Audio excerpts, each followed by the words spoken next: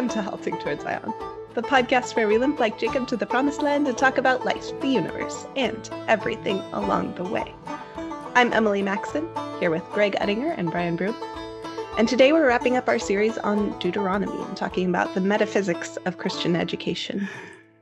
When we started this podcast 60 episodes ago, or however many, many it's been, we started considering things from Genesis who God is, how Christian ontology or metaphysics is different from every other world system. That is, when we ask the question, what's real? How do we know? What's the nature of that reality? How does it communicate to us? The Bible's answer is unique. It, there's no other religion that comes close, that kind of parallels. It's a watered down version because Christianity starts within the beginning, God created the heavens and the earth. Every other system starts with stuff is, and stuff develops, mm-hmm. and we're left with stuff. Now, if you're a materialist, the stuff may be atoms, particles, subatomic particles, quarks, energy particles, if you want to fudge what materialism means. Mm-hmm. If you're a pantheist, the stuff is spirit, divinity, something that is obviously not matter because we're not calling it that, so it's not. But the problem is, in both cases, all there is is whatever it is. It's all matter or it's all spirit. And there really is nothing against which to compare it or judge it because all is all. Now, it is theoretically possible to hold some kind of uh, merger of the two. New Age mysticism tried this back a little ways. You can think of Star Wars here, the original, the only one. New, New Hope, it's slanderously called, um, where the force is this energy field created by all living creatures, where God and the universe are interactive and one projecting the other. But it doesn't last very long. We, we can have hokey religions and good blasters, and yet somehow it may sell a lot of money in the movie theaters but no one sustains it very long. And so we keep defaulting one direction or the other. The deity becomes simply energy, which becomes matter, or the matter becomes a manifestation of deity. You're stuck with some stuff. Christianity is the one religion that says there's God. And then there's the stuff he made, and then there's no mixture between the two. God does not blend into his creation, it does not blend into him. He is he, it is it. Man, therefore, does not become God, cannot become God, not by increasing his power, knowledge, intuition, spirituality, you name it. There's nothing that man can do to climb the ladder of being into deity. God became man exactly once in the person of Jesus Christ. And even there, there is no confusion between that which is divine and that which is human, created, mortal. One altogether, not by confusion of nature, but by union of person, the Athanasian Creed says. So if in Jesus Christ, who is God and who is man, even there, if these lines are not blurred, then we can say for, for all aspects of reality and all of our interactions with God, He's God and we're not. Now, that has implications for, we, we've talked about sociology, we've talked about politics, we're ending here sort of with a focus on education, but it, wraps all of this all together. What does this understanding of who God is, of who Jesus is, how does that feed into a Christian understanding of education? And let's contrast that with what if all stuff is stuff? Then what do people do with that stuff when it comes to education? Why do they educate? And what's their goal? And what's the danger all the rest of us? So that's kind of what we're looking at. I don't remember if we still left it in, but at some point we're going to talk about the Shema.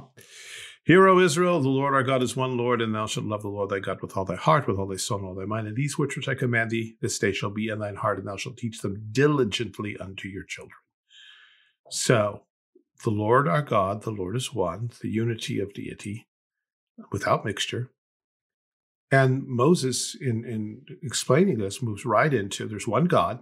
You got to love him with all your being. We can talk about why those two are necessary corollaries. And loving him with all your being means you take his words and you teach them to your kids with some goals in mind. The other question we have to ask is okay, well, if you're not a Christian, you don't believe any of that. What exactly are our schools doing? And do we really trust them? So there's, I hope that's more or less what we're doing tonight.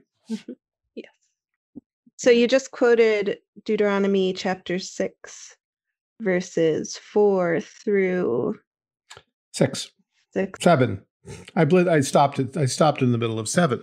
okay. But we could go on and say, and you're going to talk of them when you sit in your house, when you walk by the way, when you lie down, when you rise up. You're going to bind them for a sign upon your hand. They shall be as frontlets between thine eyes. You shall write them upon the post of thy house and on thy gates. So this this teaching of God's words is not a haphazard affair. It's not something you do on Sunday mornings and Wednesday nights or at devotions um, around the dinner table now and then. It's an, wherever you are, whatever you're doing, you got your kid there. You're supposed to be talking. One, teaching them. There's two things here: teaching them the very words of God, and then talking about what those words mean. I think there's something contexts. even before that. Yeah, what's that? These that? are your children. Yes. you have children. You have children. Wow. Yes, you do. Because it's kind of goes back to Genesis 1 be fruitful and multiply and replenish the earth. And so I'm fond of telling my, my students at school have children, have children, have children. I, I, think I think he wants us to have children. And yes, we know all of the, but there are these exceptions, sure. But that's we're not talking about exceptions. We're talking about the general humanity command. as a whole. Humanity as a whole uh, is supposed to replicate, uh, covenantally reproduce, evangelistically reproduce, so that the earth is full of lots of godly people who together are loving God and therefore loving one another and serving one another, and together are carrying out this great project of coming to know God better. And in almost in a nutshell, there's Christian education. Uh, God has said, has given us this planet and said, it's cool, make it cooler. Mm-hmm. Uh, and this is a group project. And in order for it to work, you have to love each other because if you're cheating, killing each other all the time, it's not you're not going to get there very well or very fast. And you need to do it out of love for me. So this is not just for what feels good, what's in it for you, but it's going to require lots and lots of people. And and in order for this to happen, you need to know my words. This is the owner's manual. And then you talk about them because although the words are sufficient the way they come for what God intended, God also intends that they be the means of communication, fellowship, instruction, help and aid to one another. You see something in them that I don't see. I see something she doesn't see. She, and we keep passing back and forth. Uh, Apostle Paul in Ephesians um, 4 uses the image of the body, which having been taught by uh, pastors, teachers, apostles, prophets, then takes this truth in love and keeps passing it back from one, we would say, cell to another, one joint to another, so that the whole body grows together. And in the process of growing, it's doing stuff. A body that just sits on a table and grows by itself yes. is kind of a creepy thing. Yeah. It, it needs to be out there doing what it was told to do, but doing it in harmony, in unison, in uh, reciprocity, building building itself up as we glorify God in all this wonderful world that He's given us. So that's that's and, and for this to happen, we each have our own kids, and we're supposed to teach them first of all and primarily ourselves. Now, there's a danger. Okay, so it's just my kids, and you can't tell them anything. I have seen that mentality. That's a mistake. We all belong to the body of Christ. And um, we need to be very open, I believe, to having other Christians feed into their lives. This is part of the philosophy of having Christian schools. I'm, I'm all for homeschooling, but just as there can be weird Christian schools, there can be weird homeschools. And one I, of the I thought it was a prerequisite of homeschooling to be weird. It used to be. Back when I was a homeschooler, it was a prerequisite. Lots of normal kids homeschool now. Yeah. yeah. Mm-hmm. Any no, please, no letters on that one. Um, but uh, it is important, since we are all members of the body of Christ, and that includes our kids, our covenant children, that we let other Christians speak into their lives. Now, whether you do that at Sunday school, in open discussion, fellowship after church, before church, in the church session, uh, at home, uh, on weekends, in some kind of um, I forget what they're called when homeschooling families get together and co-ops. Co-ops. I could not come up with that word to save me. But the the attitude that no, that I, I'm going to reproduce myself in them exactly is frightening because I know as a sinner that I don't want me reproduced exactly in my kids. That's frightening. And so I need others to balance out the weaknesses and the sins in my own Christian life, in my children. And so, although I am first of all accountable to God for my own children, there is a general accountability. I don't know how they do it in your churches. In ours, we actually, in the baptismal vows, take a vow that we will aid in the spiritual nourishment of these children. The whole congregation. Whole congregation. Yeah. yeah. Yeah. And, and so, this is having said this, I, I think I just summed up what Christian education is without really intending it. But I think it becomes clearer when we now turn and look at those other philosophies that maintain a philosophy of continuity of being all is one, all stuff is stuff. It's all the same stuff, which means there's nothing above it to criticize or to which we might appeal for absolutes, for direction matter is matter is matter, then matter does what matter does. And then we start looking at what matter does and any degree of honesty, although there's nothing in the nature of matter that requires honesty or even recommends it, would would show us that uh, people are selfish. People like to accumulate to themselves wealth and fame and power and pleasure and that even those who set about doing good often define that good in terms of their what makes them happy what they see uh, is the best for everyone. And they, they tend to want to reshape other people in their own image. Whether it's something as, as small as um, you need to eat like i eat or you need to live where i live or you need to dress like i dress or you need to read the books i'm reading or something as extreme as, and every thought that you have should be an echo of mine because I will henceforth be the source of truth. Whether it's materialism or whether it's mysticism that says that doesn't matter. You're, you're recreating the future, children, children, children, children, children. You're recreating the future in your image. And you can say, well, there's nothing that requires that. No, but there's nothing that forbids it. And again, observation suggests that we are selfish beings and we do that. Now, as Christians, we know exactly why we do that. We all want to play God. But there's nothing within those systems, whether it be pantheism or materialism, that can stand up and say, but wait, this desire to play God and to recreate the world in your image is wrong. Because what is wrong? Charles Manson, the serial killer, or the mass murderer, I guess, um, said, if God is one, what is wrong? Mm-hmm. He understood. If if everything is one, if there is nothing transcendent, nothing above and outside of our reality to which we can appeal, then we got we got we have no appeal. We have no help. We have nothing to to stand against the I want of the collective id other than our own I want. Well, I, you want that, I want this. Great. Now we got war. Now we have Hegelian synthesis. We have fighting within the unity, but ultimately there can't be anything, there can be no line of demarcation except the momentary surging of the current. And sooner or later, this process of change and development is going to take us in the same direction because there's nothing else to appeal to to what degree are we using the words discipleship and education interchangeably? And how far are those equal things? Because um, someone could say well yeah i want to disciple my children but i send them to school for reading writing and arithmetic.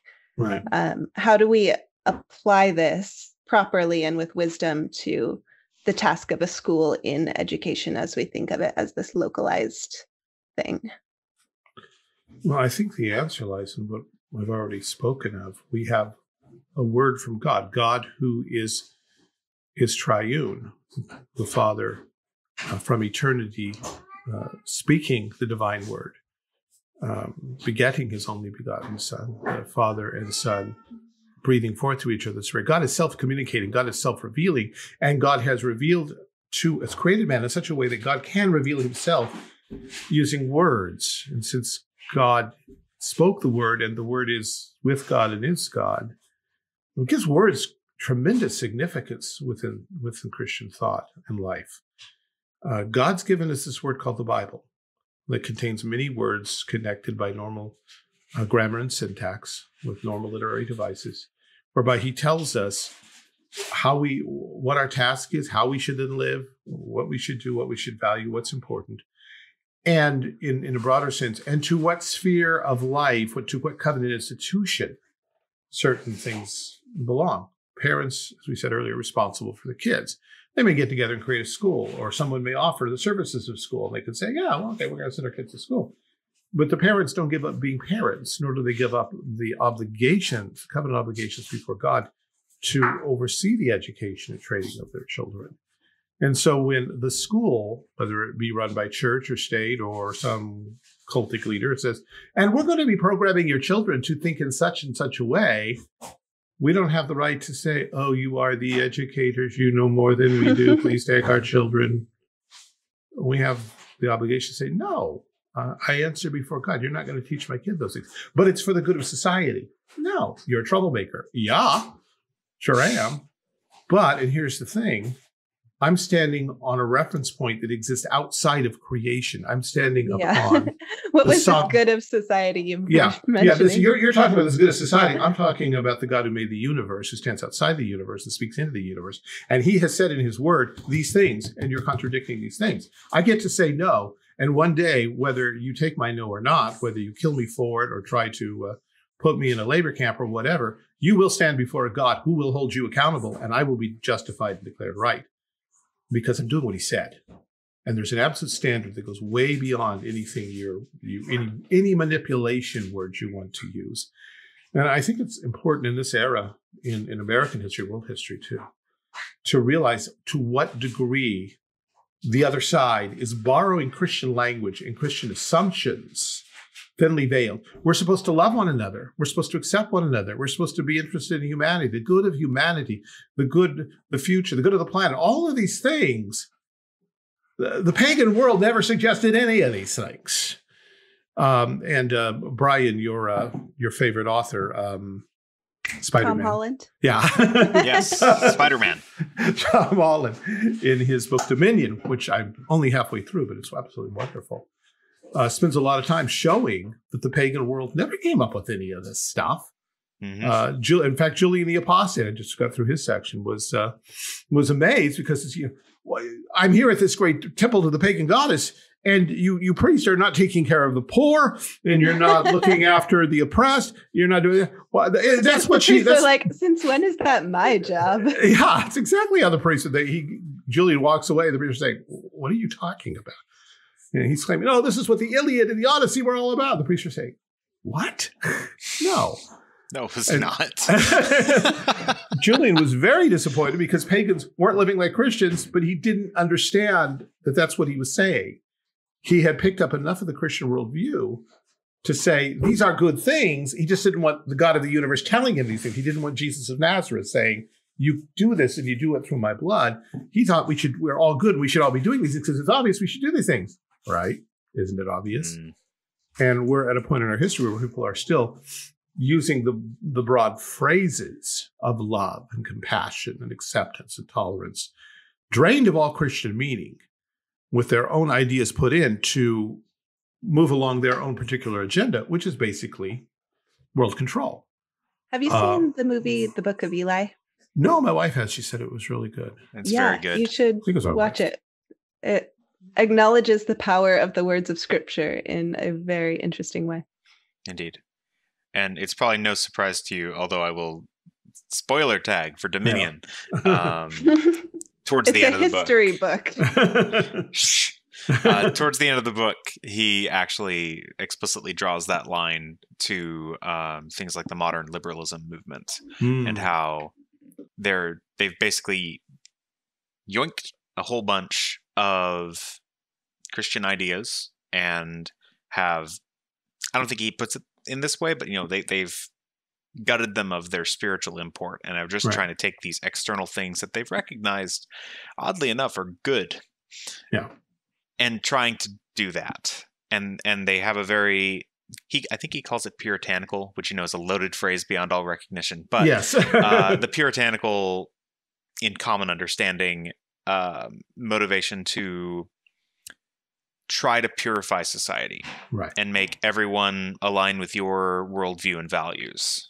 Yeah, I think there are two things. Go- Thank you. That's excellent. I think there are two things going on here. One is they can't escape their Christian roots any more than Julian the Apostate could. They've they've been programmed to to to use these connotation words, even when they hate them. They still keep falling back on love, acceptance, tolerance, and such. But the other thing is that they have learned that everyone else falls back on them too, and therefore they are very useful. Francis Schaeffer spoke of them as connotation words where you you speak of the gospel and salvation and the resurrection power of Christ, and you'd ha- they have no theological content, but people still respond to the idea of new life, of resurrection. Well, I mean, you can see that in Jungian um, psychology Yeah. um, as well, where it's you know they use all those those same Right. kind of connotation words, but you know it, it's the the word brings the spirit. The logos shows up a Yeah. whole lot in what Jordan Peterson says. He's a Jungian through and through. Doesn't mean Yeah. what we mean by it. Yeah, words do not mean, but you think they mean. You know, it, it was. Um, I think it was Henry. I thought it was Chesterton or Lewis, but now apparently I'm, I'm finding it's uh, Henry David Thoreau who said, "If I knew that someone was deliberately coming to do me good, I would run as fast as I can in the opposite direction." Well, why is that? Because what's really happening is that somebody thinks that they know what's best for you and that they are going to control you in order to remake you in their image. Mm, But you can't say that. I want to control you and make you a little uh uh what's the word? Robot. Yeah. Mini-me. projection of my project yeah, mini me, a projection of myself. You can't say that. So what you have to say is, but I love you and I want what's best for you.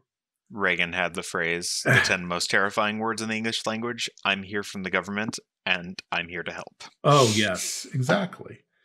And and so that's that's what we're seeing. What what are we left with when all stuff is stuff and there's no appeal beyond the stuff? We're left with that mentality because Christianity is true. We keep thinking that way. We think in terms of sin and redemption. We think in terms of creator and creation. We think in terms of sanctification and change. We think in terms of resurrection life, but we so gut it because we've got nothing to appeal to beyond the stuff. And so it, we use these connotation words, we use these ideas and these motifs. And yet, ultimately, what it comes down to is that the people in charge simply have their own preferences for whatever reason, wherever they came from, and they want to conform the rest of us to those preferences. And more often than not, it has a lot to do, um, George Orwell would say, with the lust for power, the lust to control, to hurt, destroy. Because what else is there? Others might be a little less op- uh, pessimistic or pessimistic than, than Orwell, but it, it doesn't matter. Uh, Lewis addresses this in The Abolition of Man. You know, what happens when we have so transcended nature that nothing's natural, even our impulses, even our motivations? He says, well, you, you think that the manipulators, the controllers, the educators will be such bad people? No, they won't be people at all in our sense of the word because they'll now be beyond good and evil. They will do what they do not because of any absolute, but simply because they want to. And you know, when everything else has fallen, you ought to goes away with Christianity. I want to remains. Mm. And what they want is what they want. And there's no appeal beyond that. And that's what Lewis warned us. That's what Orwell and Huxley warned us of, and uh, Ray Bradbury, uh, Fahrenheit 451. What happens when the controllers have nothing left to restrain them? Not even conscience. You know, we talk, we talk about the Inquisition. The Inquisitor at least believes there's a God out there and he's doing God service. The drunken feudal lord may at least pass out and leave you alone for a little while or go fight his war. But these people want to control everything. They want to do us good, and they are from the government or from the local school system or the local social, local social worker, and they want to help us. And what response do we have? Well, as Christians, we have a lot to say because we can appeal to a God and to a risen Lord who exists outside of that because our risen Lord is also God and yet exists within it because he's also human And so it's not a, an otherworldly mysticism where we abandon this world. He came into our world. Lewis says in one place, he took for himself a body of dust and made it glorious forever. So the the truth of the incarnation of the resurrection establishes that the world's important. It's just not God. Lewis has that other quote. I can never remember which book of his it's in, but about a, a society of tyrannical, absolute moral busybodies. Yeah. And, you know, he says the, and it's like what you said, you know, the robber baron, he may get tired. And right. Yeah, I was. The I was, thief may be glutted uh, by his spoils, but the person who thinks he's he's really doing this, he's punishing you for your own good, will not rest because he has the the unfailing support of his own conscience on his side. Yeah, that's a quote from. I was kind of paraphrasing that, although I couldn't remember where it came from at the time. But it's his um, commentary either on psychology or sociology that I actually mm. do quote someplace somewhere. I could but, see it being in his psychology. Oh, I know what it was. It was in um, his discussion of the death penalty, or no, uh, not death penalty, but um, punishment, punishment versus um, rehabilitation. Oh, because he he said, you know, if you're, do we really want to surrender our life to people whose job is to rehabilitate us? What does that look like, and when are they done? Yes. And and and am I stuck? You know, if I if I serve jail time when my time's up, I'm free and it's done. I'm gone. But if I'm not, but if I'm sick, then I'm not done until I'm well. Who decides? And by what standard? And what if I never agreed to that standard? Mm-hmm. Humanitarian theory and, of and remember, of course, from a, a human standpoint, like the secular standpoint, the only thing that makes your suffering justified mm-hmm. versus your suffering magically even though you're doing undergoing the same things with the same motivations the only thing that changes it from being unjust to just is whether or not the majority of human beings hold to one side or the other. Yeah. Or if they don't know. Or if they don't know. Because we know too. yeah we know better and eventually everyone will come to see it from our point of view because our descendants will write the history books. Oh dear well, you know, assuming they have descendants in the first place. yeah. Well, by the time we've brainwashed everybody, everyone will be our children. No, dear. I'm sorry. I'm. I'm. I, I, my, my thought patterns go rather dark, not because I believe it will happen, but because I believe if God didn't restrain us, that's exactly where we would go. Sure. That's where self consistency leads. But God doesn't let us be self consistent because He's got a better story to tell. Yeah. Uh, so let's dig a little bit more into the Shema, the extended Shema. Um, what are all of these things that it's talking about? Bind these things as frontlets between your eyes, etc. Well, first of all, Shema is the Hebrew word for "Oh, hear." Hear, O Israel, the Lord our God is one Lord, or the Lord our God is one Jehovah, or the Lord our God, the Lord is one. The idea is the unity of the Godhead. Uh, not first that there is only one God, but second, that this God is one. The theologians speak of his simplicity. That is, he does not come in bits and pieces, pieces and parts. This is an important concept in our age because we tend to think of, well, God's mostly love, but maybe he has a little justice in there. Why, well, why can't God forbear on that whole justice thing? I mean, he's God. Can't he just ditch the justice and just show love? No, you're not understanding the nature of God. God he's, is. He's uh, not Mr. Potato Head. Exactly. He's not Mr. Potato Head. There you go. He's identical with his attributes. He is truth. He is love. He is justice. He is humor. He is creativity. He's holiness. He's purity. And, and so as we come to consider God, we consider not some part of God and let that dominate our thinking. We consider God as God in all that he reveals himself. And thus, first of all, then the necessity that we love God with all our heart. We, we, are not to chase different gods. My mind will follow uh, Reformed Calvinistic Christianity. My heart will go with um, mystical Hinduism, and my will will go with some kind of reform movement born out of the 1840s. It's, our heart needs to be united on the one being who is God, who is himself not divided. I don't have to choose and pick among God's attributes to make up some kind of designer form of Christianity or some smorgasbord approaches to who God is and what therefore should be important to me. I need to love God with the one God who is one with all my heart, with all my soul, with all my mind and strength, the, the our Lord in the New Testament, juggles the words around a bit to to achieve emphasis. But might means physical energies, the energies of my body. This is not just an intellectual thing. It's not just emotional. It's not just spiritual in some Platonic sense. But it's me as a person. I have to love God with all that I am, because there's only one God. And and once and, and I need to love him with my heart. And again, that's not just the emotions.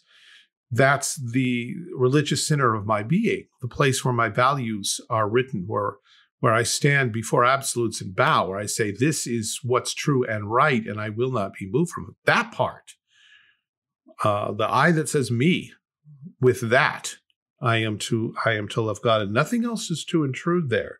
I can't serve two masters or worship two or three different gods.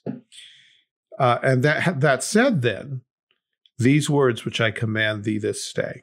God speaks to us in words. He does not say, This word which I command you, although that would be true enough. But he says words. He's talking grammatically. There are specific nouns, verbs, adjectives, adverbs, prepositions, pronouns, uh, interjections, and conjunctions that God weaves together through the normal syntax and grammar that is Hebrew and later on Greek to communicate to us what Schaeffer would call true truth. That is, God means something and he effectively communicates it through words the way we do to one another, except that he gets it right. Hmm. He doesn't screw it up. There's nothing, there's because his of his over uh, um, overseeing providence, he doesn't lose anything literally in translation, let alone in just trans- transmission or transition from one person to another. And so we know what he says, and the words mean true things. It's not God talk or or nonsense words. Uh, it's not uh, jabberwock. Uh, it's not connotation words, as we were talking about earlier. Th- these words actually mean something. And so we are to put the words together the way he gave them to us and compare the words, compare the sentences, the propositions. He says, uh, These words which I command you this day, these words were given at a particular time in Earth's history under particular historical conditions, and they speak to us now in particular historical conditions. And, and so with all of Scripture, we need to say, okay, who was writing this? When did they live? Under what what continent? What country? Under what ruler? What's he talking about? Who's his audience? Uh, when he when he says this thing was a cubit long, do we know what a cubit is? Well, that's how long it was. When he says six days, he means six days. He's he's writing in terms of a historical framework, and he expects us to understand that.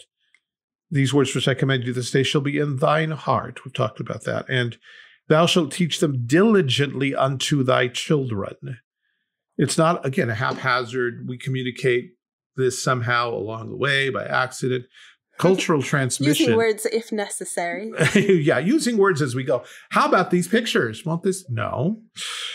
Because we're, we're, talking about words. Now, if, you, if your kid has never seen a sheep, fine, draw a sheep. But Better yet, go find one and say, sheep. or draw a box which has a sheep in it. Sorry, little go. Prince reference. um, teach them diligently to your children, first of all.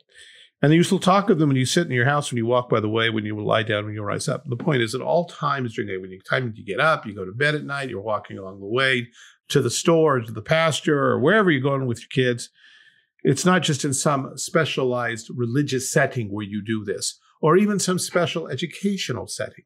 This is going to be an ongoing, all the time kind of thing. But my wife was great with this when our, when our girls were little. She'd just take them outside and they'd come upon a rose and she'd say, Oh, look at this great, this beautiful rose that God made for us. And some people might think, well, no, that that's over the top. You're you're you're religious. So contrived. Yeah, so that's the word. You're so contrived. No, it actually God actually did make it, and He actually did put it there. And one of the prime reasons He put it there was for us, since He mm-hmm. sees it, the angels see it. Probably nobody in our family will ever see it. Then we're part of the audience, and there's nothing contrived about it. You you're, you're getting your kids to understand this is our Father's world, and that's one of the implications of this. You're not having to get religious. You know, all right, child, be still and wonder at the power of our sovereign God in making this rose for us here and now. Bless the rose, my child. You know, no, it's just like, oh, pretty, pretty rose that, uh, that God made for us. One of the real things I think is really bad about Christian school teachers and Sunday school teachers and pastors and sometimes parents is that holy voice you take on when you start talking about the things. sounds sort of like Vincent Price from a horror movie. Um, it's just ordinary language. You should be able to shift in and out of talking about God with talking about anything plumbing or your cat needing to be neutered or papaya pills I see on my desk. Whatever you're talking about, old friendships, old memories. Because he made it all. he made it all, and it's all part of what he has for us to do here. Mm-hmm. From dominion over the lesser creatures to taking care of our health with papaya to uh, one anothering each other, as Paul tells us so many times. All, all of those things have direct roots back to scripture almost immediately. Mm-hmm. Uh, and, and our kids need to understand this. When Christianity is something that only happens on church, even if you multiply church hours so that you're in church every night for three hours, they still get the idea that church is one thing, Christianity is one thing, and ordinary life is something else. And that's exactly what this is not saying. It's the, the word of God oversees and informs everything. And we can always talk about it without stretching, without having to reach for it. Yeah. And then thou shalt bind them for a sign upon thy hand. They shall be as frontlets between thine eyes. The Pharisees took this literally. They designed the little phylacteries, little leather pouches they hung uh, across their foreheads and upon their hands with little specific pieces of scripture in it. Now, Jesus talked about the phylacteries. He didn't say there's anything wrong with them. There's nothing wrong with putting Bible verses up all over the place or even on your car.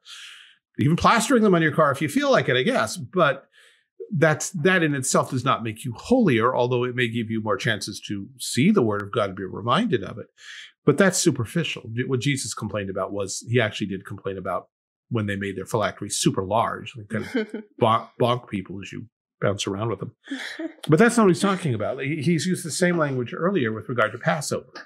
And you don't wear a feast on your head or on your hand. He's talking about what's uh, in your before your eyes and in your head What's in the what's, front of your mind? What's in the front of your mind and what your hands are doing.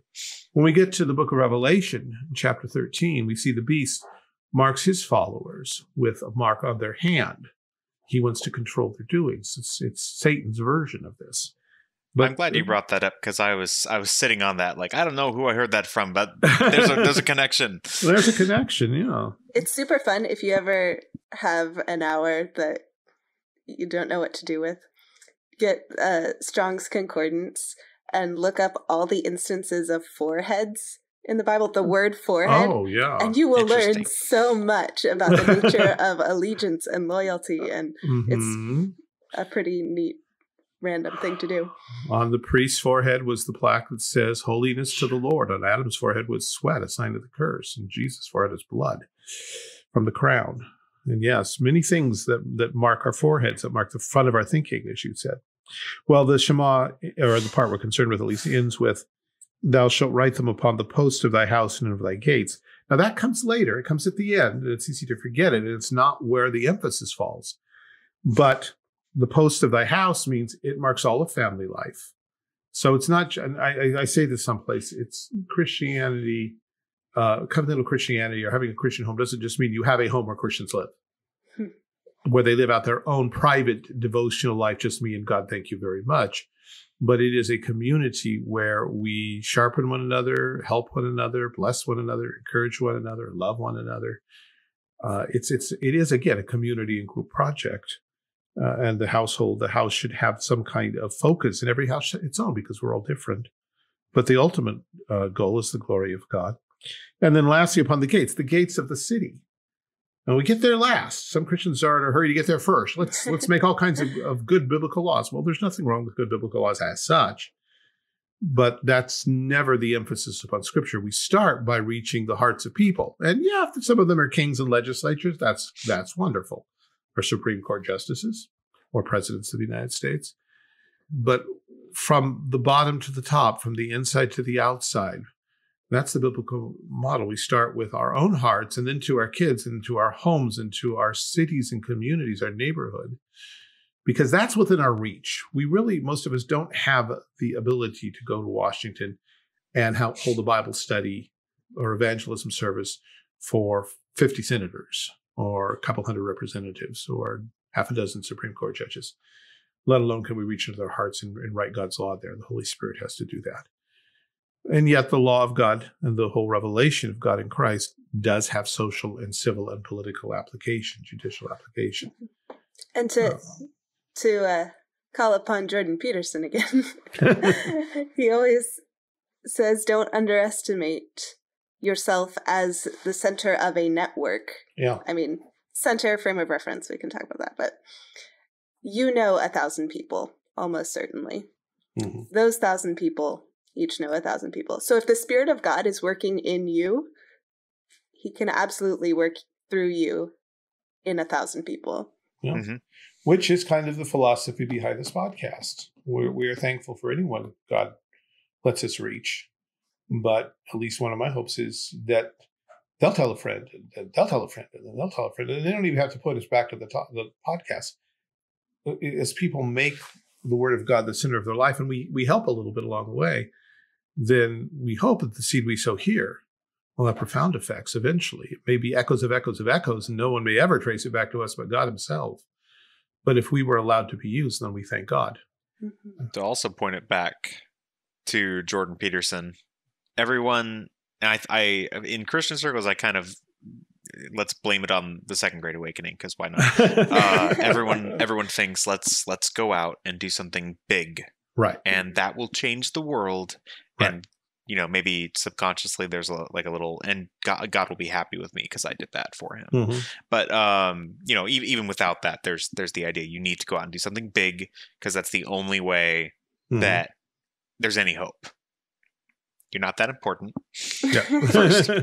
second of all he always says you know people want to go out and they want to change the world they want to do something big they want to change society or you know to institute communism and they you know presumably in their own minds they want to be in charge of that they want to have some kind of role Mhm. but they haven't even cleaned their own room. Right. You need to start where you're at Mhm. and have an effect on where you're at before you can even move to your immediate location Right. and your connections. And These words Um, which I command you this day shall be in thine heart. Thine heart. Starts with each of us.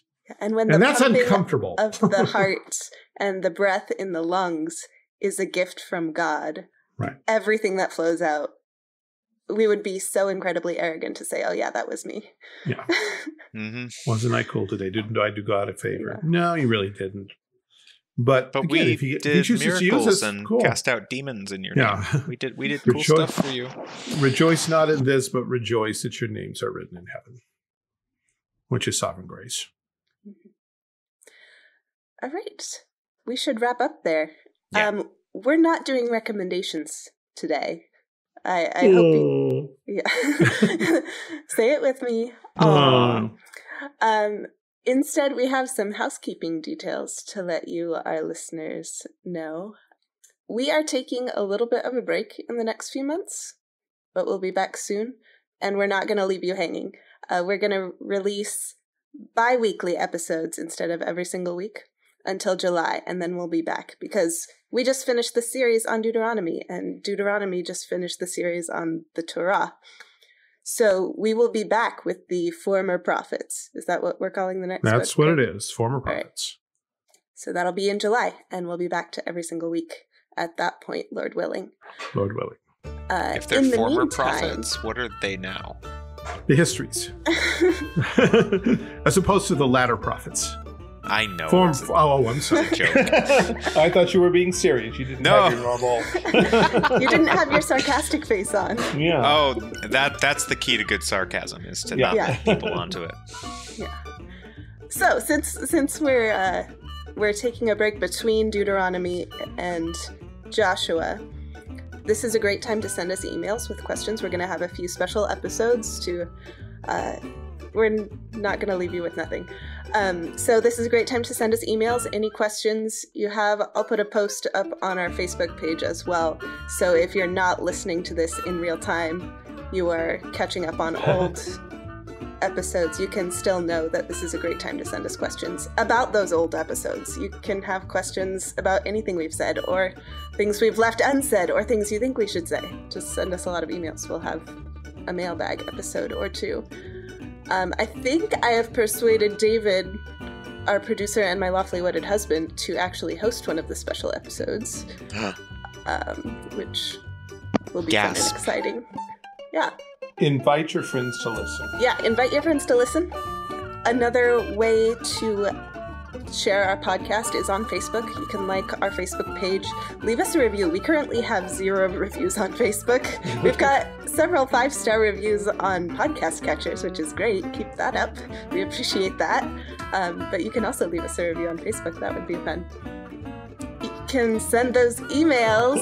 I didn't tell you where to send the emails. I'm sorry, I'm droning on forever and ever, but I have to tell you where to send the emails. That's haltingtowardszion at gmail.com see you in two weeks. Bye.